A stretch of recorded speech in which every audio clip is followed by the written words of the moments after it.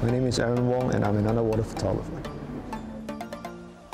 I think the underwater world is probably one of the best places to make pictures really because it is like the most colorful canvas Mother Nature can offer.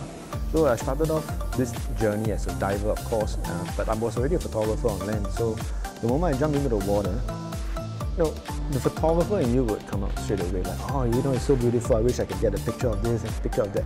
So you kind of see things in frames. So um, I would say it's a natural progression. And um, so once you fall into the so-called the, uh, the, the ring of, of, of uh, underwater photography, you, you just naturally get.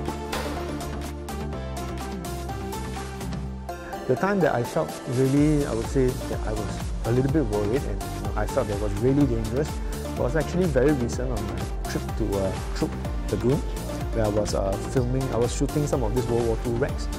And uh, some of the scenes that we wanted to do required us to um, go really deep into, penetrate really deep into the wrecks. And these wrecks are number one very deep, number two the places that we need to get to are really a very confined space. So if anybody who knows anything about diving, you know, once you go into a place that you need to make five or six turns to enter, and if anything happens, you have to make five or six turns to get out in pitch darkness, uh, gets really hairy and uh, the level of danger is really high and I would say, you know, the sheer fact that you can't see, you know, it's like watching the movie Aliens, right? you, you turn around, it's just black corridor, you can't see where you are going. I think um, the element of danger was really high and you know, all it takes is a very small mistake and you are in a lot of trouble.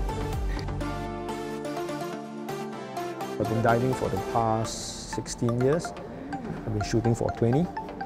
Um, so there's definitely a lot of experience that has been gathered. You know, things that you will never learn in school, you will never get in a textbook. And you know, these are the things that I would like to share with people. And uh, uh, of course, I, they can go and explore and, and, experiment themselves, but sharing information is uh, uh the, the, one of the key factors. And not only for me giving tips to people. Sometimes I learn stuff from guys and because you never stop learning. So some of these sessions are the best in, in sharing information and exchanging ideas.